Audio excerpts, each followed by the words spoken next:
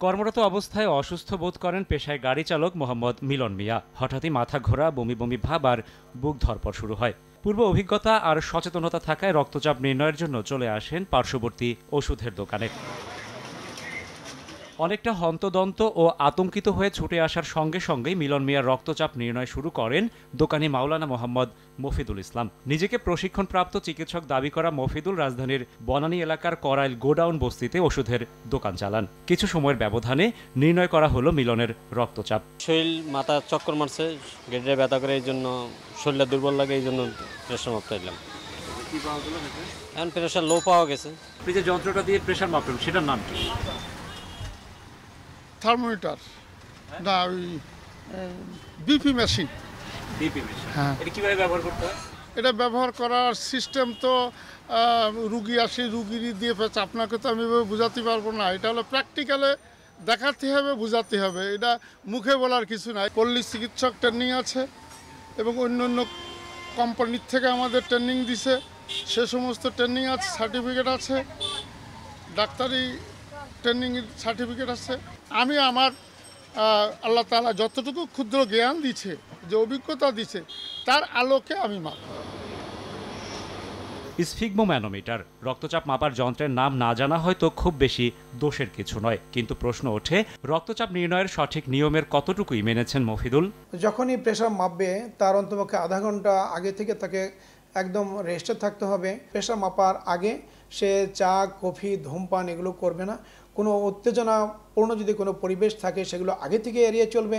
তার আগের রাতে যেন তার সুন্দর ঘুম হয় এবং আসার পর আধা ঘণ্টা বসবে এবং তারপরে মাপবে, তার পজিশনটা এরকম থাকবে, টেবিলে হাত থাকবে নিজে চেয়ারে বসবে এবং তার বাহুর লেভেল, এটা যেন তার হার্টের লেভেলে থাকে এবং তিনবার প্রেশার মাপবে, প্রথমটা বাদ দিবে এবং দ্বিতীয় এবং তৃতীয় যে প্রেশার, তার গড় করে যে প্রেশার সেটাই হলো তার ওই দিনের পেশা।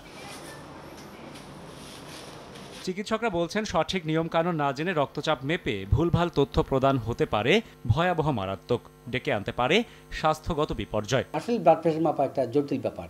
আমি বলি it is not an art it is a science এটা একটা বিজ্ঞান অনেক কায়দা কানুন আছে।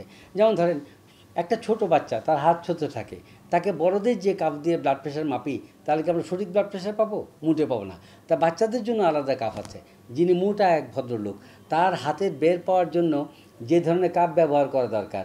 আর সাধারণ আমি, আপনি যেরকম বডি হাইট ওয়েটের লোক, আমার জন্য যে কাফ আমরা যেটা ফুলাই, যে বেলুন দরকার, সেটা মোটা মানুষের জন্য তোর প্রযোজ্য নয়, তার জন্য আলাদা একটা আছে।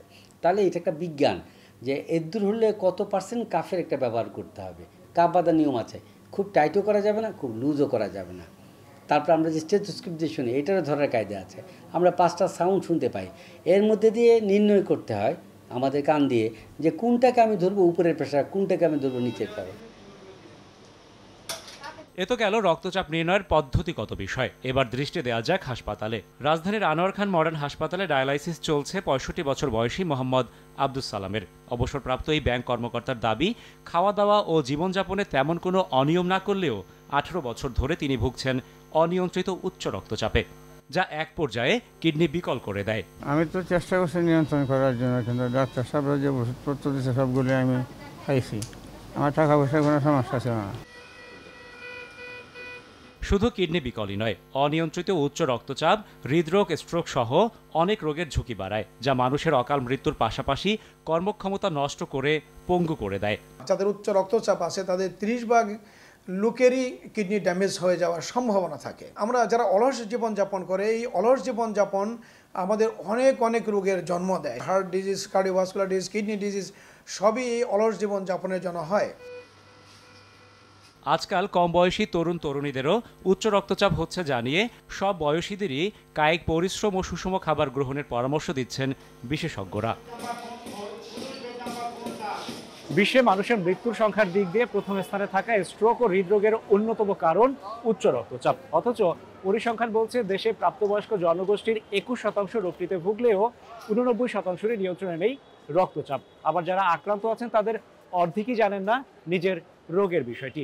আর তাই বিশেষজ্ঞ চিকিৎসকরা বলছেন, নীরব ঘাতক উচ্চ রক্তচাপ প্রতিরোধে সবার আগে সব থেকে জরুরি সর্বস্তরে জনসচেতনতা বৃদ্ধির।